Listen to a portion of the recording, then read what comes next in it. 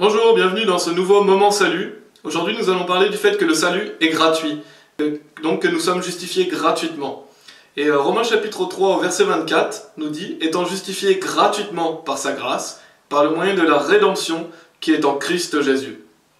Et Romains chapitre 6 verset 23 nous dit car le salaire du péché est la mort, mais le don de Dieu est la vie éternelle par Jésus-Christ, notre Seigneur.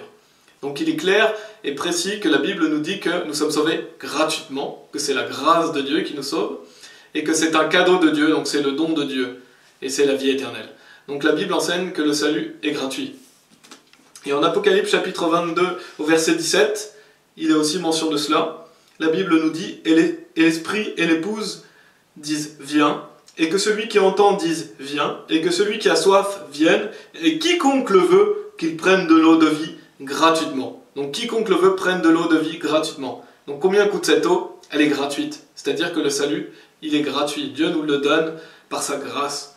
Donc il est vraiment clair à travers ces versets, et il y a beaucoup d'autres versets qui en parlent, que le salut est gratuit. Donc comment nous sommes justifiés? Gratuitement. Ainsi, nous ne méritons pas le salut. Nous, en tant qu'êtres humains, nous méritons d'aller en enfer, parce que nous sommes pécheurs, parce que nous sommes, nous sommes coupables devant Dieu. Donc on mérite quoi? D'aller en enfer. On ne mérite pas d'être sauvé. Et euh, nous ne travaillons pas pour recevoir le salut. C'est-à-dire que ce n'est pas par nos propres efforts, par nos propres bonnes œuvres, c'est pas notre bonne conduite qui fait qu'on va aller au paradis, parce qu'on ne travaille pas pour le salut, parce qu'il est gratuit. Et c'est pas à, nous de travailler pour essayer de garder le salut non plus. Donc on n'essaye pas de gagner le salut, mais on ne travaille pas non plus pour le garder. Parce que le salut, il est gratuit, et il vient de l'œuvre de Jésus-Christ. Donc lorsque nous croyons dans l'œuvre parfaite de Jésus-Christ, qu'il est mort à la croix pour nos péchés, qu'il est enseveli et qu'il est ressuscité des morts, et eh bien nous recevons ce don gratuit qui est la vie éternelle. Et là, nous sommes sauvés. Donc on doit le recevoir comme un cadeau. Si vous ne recevez pas le salut comme un cadeau, vous n'êtes pas sauvé. Pourquoi? Parce que vous essayez de payer pour aller au paradis. Vous essayez de payer parce que, par, exemple, vous pensez perdre votre salut, donc vous faites des bonnes œuvres pour ne pas perdre votre salut. Ou vous essayez de ne pas pécher pour ne pas perdre votre salut. Ben, c'est pareil, vous n'êtes pas sauvé. Parce que vous n'avez pas complètement mis votre confiance en Jésus-Christ vous n'avez pas confiance en lui, vous avez confiance en vous-même, ou dans votre capacité de garder le salut, ou de travailler pour le garder. Donc c'est très important de savoir que le salut, non, il est gratuit. Le salut est gratuit, c'est-à-dire que lorsque vous mettez votre foi en Jésus-Christ, vous êtes sauvé. Et on va donner un exemple très simple, mais si je vous dis que cette Bible est gratuite, je vous dis que cette Bible est gratuite, donc je veux vous la donner, et je vous dis, c'est un cadeau gratuit que je vous fais. Est-ce que vous devez payer pour recevoir cette Bible? La réponse est évidente, vous n'avez pas à payer parce que c'est gratuit. Maintenant, si je vous donne cette Bible aussi gratuitement, et je vous dis oui, en échange de cela, vous devez aller laver ma voiture, est-ce que cette Bible est gratuite? Non, elle n'est pas gratuite parce que je vous demande de travailler en échange. Donc ce n'est plus gratuit. Et si je vous donne cette Bible gratuitement, et que je vous dis que c'est la vie éternelle, parce que le don de Dieu c'est la vie éternelle, et donc je vous la donne, et que dans trois semaines je tape à votre porte, et je vous dis, ah, rendez-moi cette Bible, je sais que vous commettez encore du péché, ou vous faites ceci ou cela, vous n'allez pas à l'église, rendez-la moi. Et bien, ça n'aurait pas été la vie éternelle, parce qu'elle aurait été temporaire. Je vous aurais donné cette Bible temporairement. Or, je vous avais dit que le don de Dieu, c'est la vie éternelle. Donc que cette Bible était éternelle. Donc là où je veux en venir, c'est le fait que c'est un cadeau gratuit que Dieu vous fait.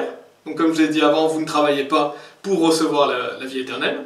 Vous ne travaillez pas non plus pour la garder. Et vous devez la recevoir comme un cadeau. Parce que si vous essayez de travailler pour, ce n'est plus, ce n'est plus gratuit.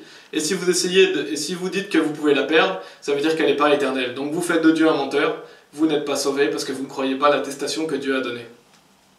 Donc c'est très important, cette notion de gratuité du salut, elle est très importante parce qu'elle montre qu'on est sauvé par la grâce de Dieu, et elle montre aussi que le salut ne peut pas se perdre parce que ce cadeau gratuit que Dieu vous fait, c'est la vie éternelle, c'est-à-dire la vie pour toujours qui n'a pas de fin.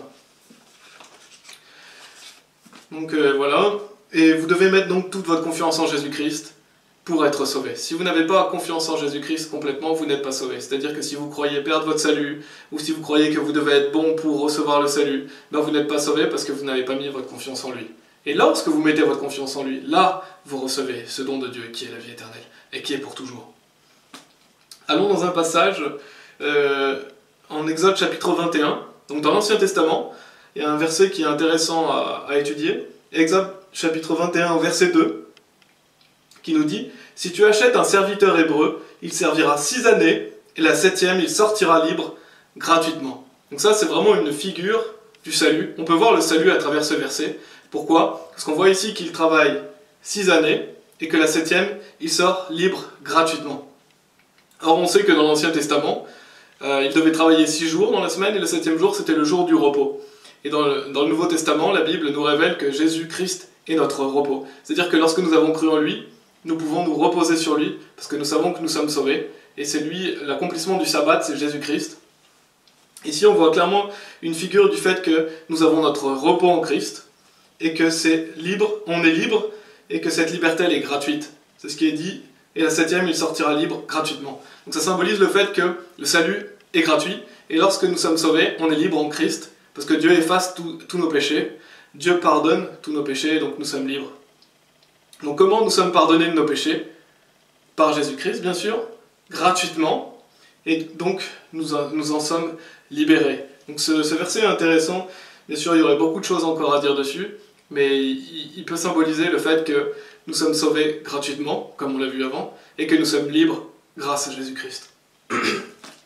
Et pour conclure, euh, lisons un passage de la Bible en Jean chapitre 4, l'histoire de, de la Samaritaine et de Jésus. Et commençons au verset 10 qui nous dit Jésus répondit et lui dit Si tu connaissais le don de Dieu et qui est celui qui te dit Donne-moi à boire, tu lui aurais demandé et il t'aurait donné de l'eau vive. La femme lui dit Sire, tu n'as rien pour puiser et le puits est profond. D'où as-tu donc cette eau vive? Es-tu plus grand que notre père Jacob, qui nous a donné ce puits et qui en a bu lui-même et ses enfants et son bétail? Jésus répondit et lui dit Quiconque boit de cette eau aura encore soif. Mais quiconque boit de l'eau que je lui donnerai n'aura plus jamais soif, mais l'eau que je lui donnerai sera en lui un puits d'eau jaillissante en vie sempiternelle, ou donc en vie éternelle. Et je voulais qu'on lise aussi, oui, le verset 15. Verset 15 qui nous dit La femme lui dit Sire, donne-moi de cette eau, afin que je n'ai plus soif et que je ne vienne plus puiser ici.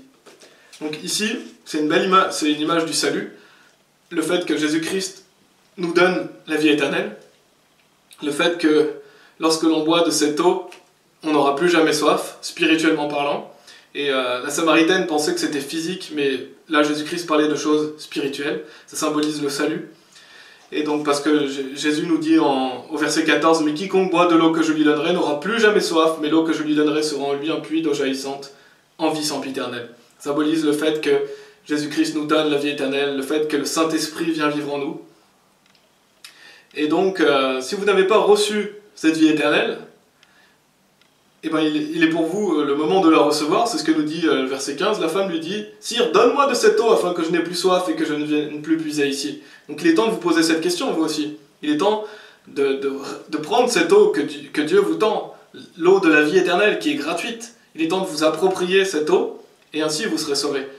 Et aussi, maintenant, si vous êtes sauvés, il est temps aussi d'aller annoncer cette bonne nouvelle aux autres.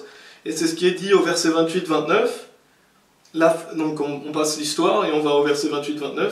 La femme alors laissa sa cruche et s'en alla à la ville et dit aux hommes Venez, voyez un homme qui m'a dit toutes les choses que j'ai jamais faites. N'est-ce pas le Christ?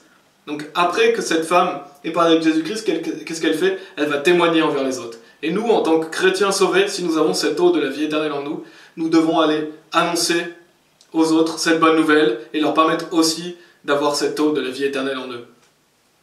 Et donc ça c'est très important parce que si vous aviez un cadeau, si par exemple vous aviez une maison à offrir aux personnes, ne seriez-vous pas heureux d'aller offrir une maison à quelqu'un? Bien sûr que si, vous seriez heureux d'offrir un, cadeau aussi beau qu'une maison à quelqu'un.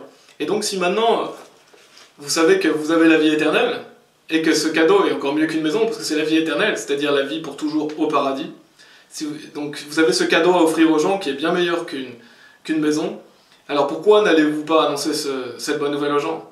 Permettez-leur de recevoir ce cadeau inestimable, qui est bien mieux qu'une maison, qui s'appelle la vie éternelle. Et c'est ce que Jésus veut pour vous aujourd'hui.